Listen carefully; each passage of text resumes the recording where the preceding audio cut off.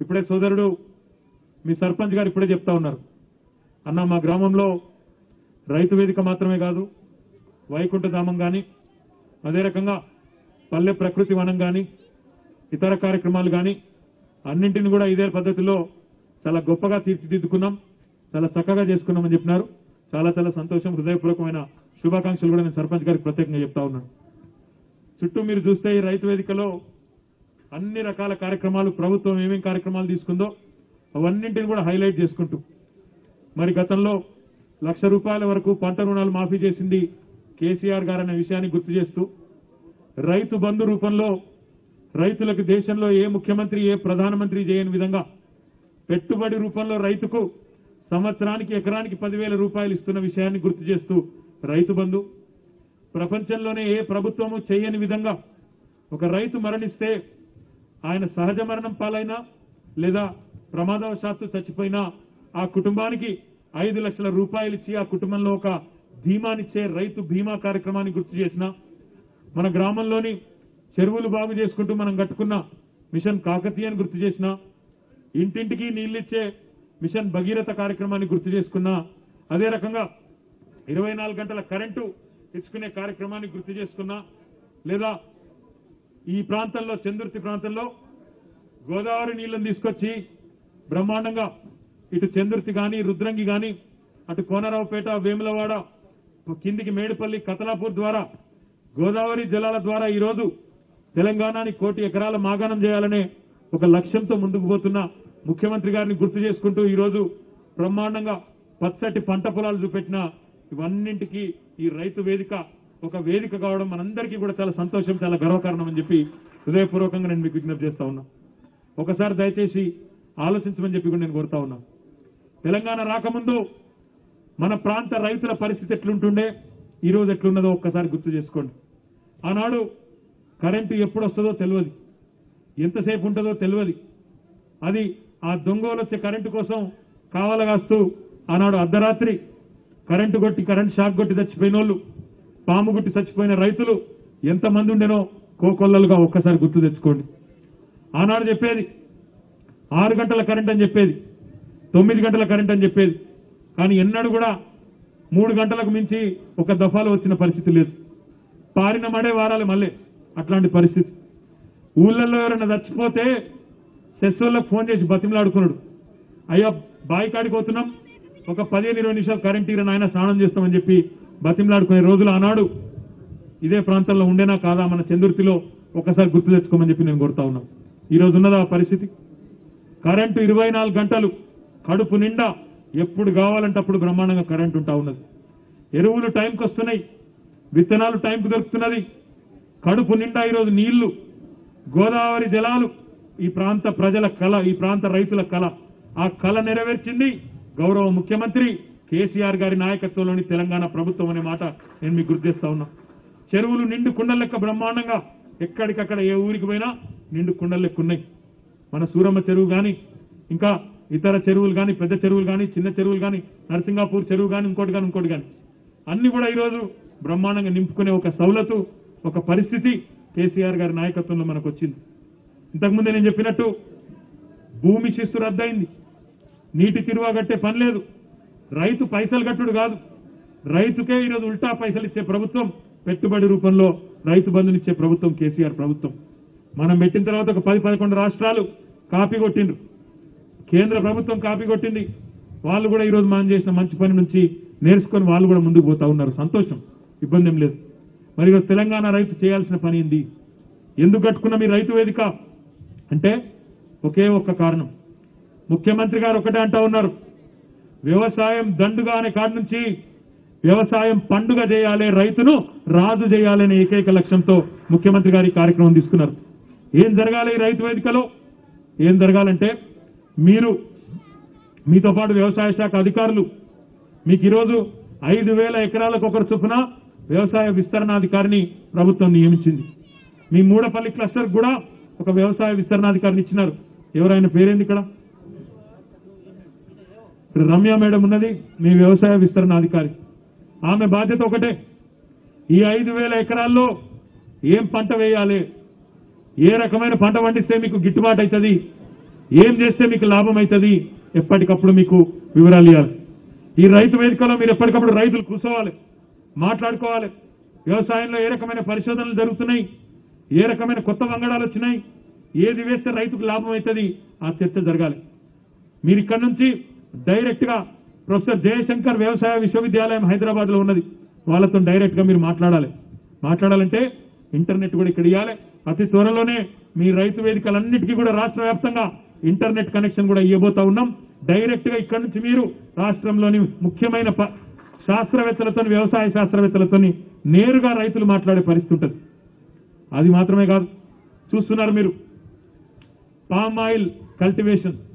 ఇంకా ఇతర పంటలు బాగా వరి మాత్రమే కాదు పత్తి మాత్రమే కాదు మొక్కజొన్న మాత్రమే కాదు ఇతర పంటల వైపు కూడా ఉద్యాన పంటలు కానీ ఇతర పంటల వైపు కానీ రైతులు మల్లాలి మల్లితేనే మరి ఒక మూస పద్ధతి నుంచి బయటపడి అందరం కూడా బాగుండే పరిస్థితి ఉంటుందనే ఒక ఆలోచన. ఒక్కసారి మీరు గుర్తు చేసుకోండి. తెలంగాణలో ఒకనాడు నీళ్ళే లేవు మీరేం చేస్తారన్న పరిస్థితి నుంచి ఈరోజు దేశానికే భూమ పెట్టే స్థాయికి తెలంగాణ చేరుకున్నది. దేశం మొత్తానికి ధాన్య భాండాగారంగా తెలంగాణ మారింది. కేసీఆర్ గారి నాయకత్వంలో రైతుల కష్టంతో ఈరోజు మన వేములవాడ రైతులు కానీ సిరిసిల్ల జిల్లా రైతులు కానీ గర్వంగా చెప్పుకునే పరిస్థితికి వచ్చినాం. నేను మీ అందరికీ ఒకటే విజ్ఞప్తి చేస్తా ఉన్నా. ఒక మంచి ఆలోచనతో ఒక మంచి ఆశయంతో ముఖ్యమంత్రి గారు ఈ రైతు వేదికలు రైతులను సంఘటితం చేయాలి. ఆ సంఘటిత శక్తిలో ఉండే పవరు రైతులు తెలుసుకోవాలి. ఒకరి నుంచి ఒకరు మంచి ఆలోచనలు పంచుకోవాలి. ఎవరి పాటికి వాళ్ళు వ్యవసాయం చేసుకున్నాడు కాదు పది మంది కూర్చొని ఒక దగ్గర మంచి చెడు మాట్లాడుకొని ఒకరి నుంచి ఒకరు నేర్చుకొని అందరూ బాగుండాలి అందరూ లాభపడాలి అనే మంచి ఉద్దేశంతో ముఖ్యమంత్రి గారి వేదికలు నిర్మాణం చేసినారు.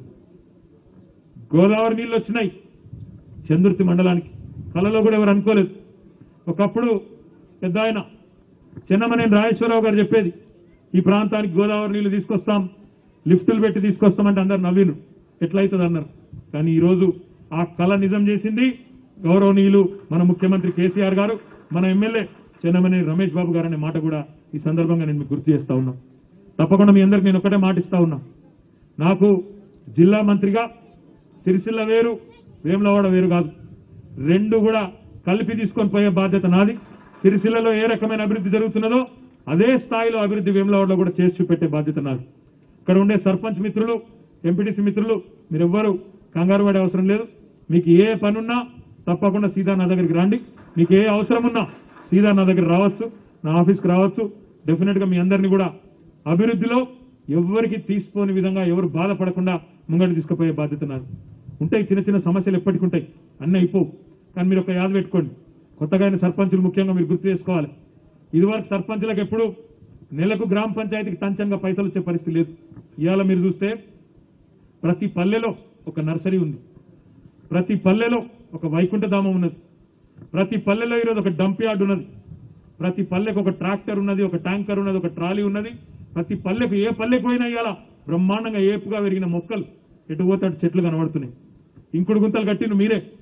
మురికిని మాయం చేసింది మీరే. పారిశుద్ధ్యాన్ని మెరుగుపరిచింది మీరే. ఈ క్రెడిట్ మా సర్పంచ్లకు ఉప సర్పంచ్లకు వార్డు మెంబర్లకు ఎంపీటీసీలకు మీకే దక్కుతుంది. దేశంలో ఎక్కడ పరిస్థితి లేదు. ఏ ఊరు కావు ఊరు బాగు చేసుకోవాలనే సోయి. ఏ ఊరు కావు ఊరు బాగుపడాలనే ఆలోచన ఈ దేశంలో ఏ ప్రభుత్వం ఏ ముఖ్యమంత్రి ఇదివరకు చేయలే మన ముఖ్యమంత్రి కేసీఆర్ గారు చేసినారు. మీరు గమనించండి అంటు రోగాలు తగ్గినాయి. చూడండి మీరు కరోనా టైంలో కూడా అంటు రోగాలు తగ్గినాయి. ఇంటింటికి శుద్ధమైన జలాలు ఇవి మిషన్ భగీరథ ద్వారా ఇంటింటికి శుద్ధమైన నీళ్ళు వస్తున్నాయి. ఈరోజు అధికారిక మీటింగ్లో కూడా ఈ మిషన్ భగీరథ నీళ్ళు మన మీద అవుతా ఉన్నాం. అధికారులు మంత్రులు ఎమ్మెల్యేలు కూడా ఈ నీళ్ళే తాగుతున్నారు. అంటే ఇంత గొప్ప ప్రాజెక్ట్.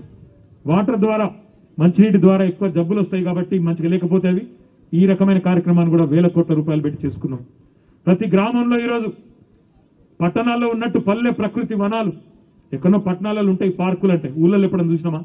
పార్కులు ఇలా మన ఊళ్ళల్లో పార్కులు వచ్చినాయి. ఇప్పుడే తమ్ముడు అంజబాబు చెప్తుంటే సంతోషం అనిపించింది.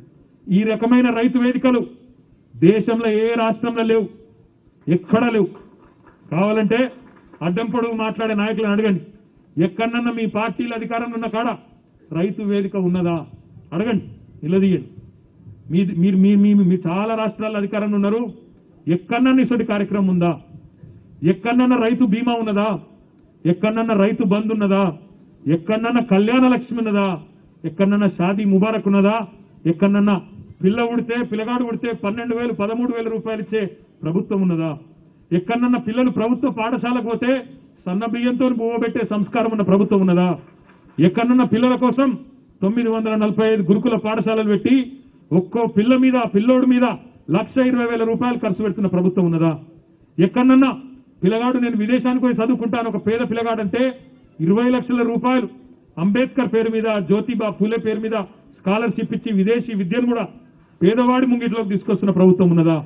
అడగండి. దయచేసి నేను ఏమంటా ఉన్నా అంటే రాజకీయాల కోసం చిల్లర మల్లర మాటలు మాట్లాడేటోళ్ళు చాలా మంది ఉంటారు. కానీ మీ ఎమ్మెల్యే గారు రమేష్ బాబు గారు ఎల్లవేళలా వేములవాడ నియోజకవర్గం దాని అభివృద్ధి ఇక్కడి సమస్యలు ఎప్పటికప్పుడు నాతో వినోద్ గారితో ఇంకా కలెక్టర్ గారితో ఎప్పటికప్పుడు చెప్తానే ఉన్నారు. ఎప్పటికప్పుడు మా ఎంబడ పడుతూనే ఉన్నాడు. ఇది కావాలి అది కావాలి. నేను ఒకటే విజ్ఞప్తి చేస్తా ఉన్నా. కరోనా వల్ల పోయిన సంవత్సరంలో మనం అందరం కూడా నష్టపోయినాం. ప్రభుత్వం నష్టపోయింది ప్రజలు నష్టపోయినారు. ఆర్థిక వ్యవస్థ కుదేలైంది. యాభై రెండు యాభై మూడు వేల కోట్ల నష్టం వచ్చింది ప్రభుత్వానికి. అయినా సంక్షేమ కార్యక్రమం ఒక్కటి కూడా ఆగలేదు. సంక్షోభంలో ఉంటివి పైసలు లోటుండే. కానీ ఇక్కడ ఒక్క ఒక్క ప్రోగ్రాం ఆగలే పేదవాళ్ళ ప్రోగ్రాం. ఆసరా పింఛన్లు. మన తెలంగాణ రాకముందు రెండు వందల రూపాయల పెన్షన్ ఉంటుండే. ఈరోజు పది రెట్లు పెరిగి రెండు వేల రూపాయల పెన్షన్ అయింది ఒక్కరు ఒక్క ఒక్కటంటే ఒక్క చోట కూడా ఆపలే. ఉన్నది డిమాండ్ ఉన్నది. కొత్త కారట్లు ఇవ్వాలి కొత్త పెన్షన్లు ఇవ్వాలి డిమాండ్ ఉన్నది. మాకు కూడా ఎరికే. తెలియకలేము ఇండ్లు కూడా ఇచ్చే ఆలోచన ప్రభుత్వం చేస్తున్నది ఎక్కడున్న వాళ్ళకి అక్కడనే. ఇండ్ల లోన్ ఇచ్చే ఆలోచన కూడా చేస్తున్నాం ఇంటికి కూడా పైసలు ఇచ్చే ఆలోచన చేస్తున్నాం. అది కూడా తప్పకుండా జరుగుతుంది. నేనేమంటా ఉన్నా అంటే పోయిన సంవత్సరం కొంత ఇబ్బంది ఉండే కానీ రాబోయే ఆర్థిక సంవత్సరం ముఖ్యమంత్రి గారి నాయకత్వంలో కేసీఆర్ గారి నాయకత్వంలో సంక్షేమ కార్యక్రమాలను యథావిధిగా కొనసాగిస్తూ రైతుల సంక్షేమం రైతులను బాగు చూసుకుంటూ మన ఈ ప్రాంతం ముఖ్యంగా కరువు పీడ కరువు పీడిత ప్రాంతమైన రాజన్న సిరిసిల్ల జిల్లాలోని రైతన్నలకు అండగా ఉంటూ ఇట్లాంటి రైతు వేదికలు ఇంకా ఇతర మంచి కార్యక్రమాలు చేసుకుంటూ ముందుకు పోదాం. చిల్లర మల్లర మాటలు మాట్లాడేటోళ్ళు సొల్లు వాగుడు వాగేటోళ్ళు వాళ్ళని పట్టించుకునే అక్కడ మనకు లేదు. వాళ్ళు ఒరటోడు ఒరుతూనే ఉంటాడు వాళ్ళని ఒకటే అడుగుండ్రు మీరు. ఎక్కడన్నా దేశంలో ఈ ప్రోగ్రాం ఉన్నదా అడుగుండ్రు. ఒక మా గుర్రపిల్లలు కూడా ఎక్కడి నుంచో పలకరిస్తున్నాయి ఆడునే కానీ. అది మమ్మల్ని గుర్తు చేయలేదు యాద్ చేయలేని గుర్రపిల్లలు కూడా అడుగుతున్నాయి. ఎక్కడన్నా ఉన్నదా అండి? యాదవ సోదరులకు గొర్రెలిచ్చే సంస్కారం ఉన్న ప్రభుత్వం ఐదు వేల కోట్ల రూపాయలతో మత్స్యకారులకు గంగపుత్రులు కావచ్చు ముదిరాజులు కావచ్చు ఇవాళ చేపల సంపద పెరిగింది. మీరు చూస్తున్నారు పేపర్లలో టీవీలలో. ఇరవై ఐదు కిలోల చేప దొరికింది ముప్పై కిలోల చేప దొరికింది మిడ్ మానేర్ల గంత దొరికింది సురమ చెరువుల ఇంత దొరికిందని చేపలు పెద్ద పెద్ద బరువు మొయ్యలేనంత బరువు ఉన్న చేపలను పట్టుకొని మన మత్స్యకారులు ఫోటోలు దిగుతాను పాడి పరిశ్రమ మంచిగా అవుతుంది. గొర్రెలు మేకల పెంపకం పెరుగుతూ ఉన్నది. గౌడ సోదరులు సంతోషంగా ఉన్నారు. వాళ్ళకు కూడా చెట్టు పన్ను రద్దయింది. వాళ్ళకు కూడా బ్రహ్మాండంగా ఈరోజు ఆరు లక్షలైంది. ఎస్గ్రేషియా ఇట్లాంటి కార్యక్రమాలు చెప్పుకుంటూ పోతే ఇంకో గంట సేపు చెప్పొచ్చు నేను. అన్ని వర్గాలను.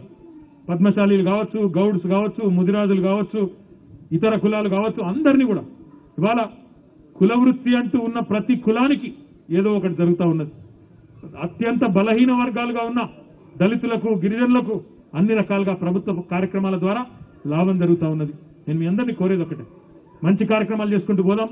ఎన్నికలు వచ్చినప్పుడు మూడేళ్ళ తర్వాత రాజకీయాలు అప్పుడు మాట్లాడుకుందాం. ఎవరు ఏం మాట్లాడినా పట్టించుకోకుండా అభివృద్ధి పనులు సంక్షేమ కార్యక్రమాలను నిరంతరంగా ముందుకు తీసుకొని పోదాం. సిరిసిల్లను వేములవాడను రెండింటిని జోడెద్దుల మాదిరిగా ఉరికించుకుంటూ ముందుకు పోదాం. ఇక్కడ ఉండే సర్పంచులు ఎంపీటీసులు అందరినీ నేను కోరుతా ఉన్నా. ఏ కష్టం ఉన్నా రమేష్ అన్న ఉన్నాడు వినోద్ అన్న ఉన్నాడు నేనున్నా. మీరెవ్వరు కూడా బాధపడే అవసరం లేదు భయపడే అవసరం లేదు. ఏ కష్టం ఉన్నా ఏ ఇబ్బంది ఉన్నా క్షణం కూడా ఆలోచించకుండా నా దగ్గరికి మీరు ఎప్పుడైనా రావచ్చని చెప్పి కూడా మళ్ళొకసారి హృదయపూర్వకంగా విజ్ఞప్తి చేస్తూ ప్రత్యేకంగా ప్రత్యేకంగా తమ్ముడు అంజుబాబు గారి కోసం ఒకసారి గట్టిగా అందరూ సపోర్ట్లు కొట్టాలి. ఎందుకంటే పది పన్నెండు లక్షల రూపాయలు ప్రత్యేకించి ఖర్చు పెట్టుకొని ఇవాళ తన గ్రామంలోని రైతుల కోసం ఇంత చక్కటి నిర్మాణం చేసిన అంజుబాబు గారికి హృదయపూర్వకమైన శుభాకాంక్షలు అభినందనలు కూడా నేను తెలియజేస్తూ జై తెలంగాణ. తమ్ముడు ఆ కళాకారుడి పేరేంది? చంద్రయ్య గారి ఇక్కడ ఎల్లారెడ్డిపేట మండలం మా సింగారం గ్రామం. ఒక్కని షొక్కని షొక్కని షొక్కని ఆయనకు సప్పట్లేదు కూడా నేను పోయి మీరు బాధ ఏంది?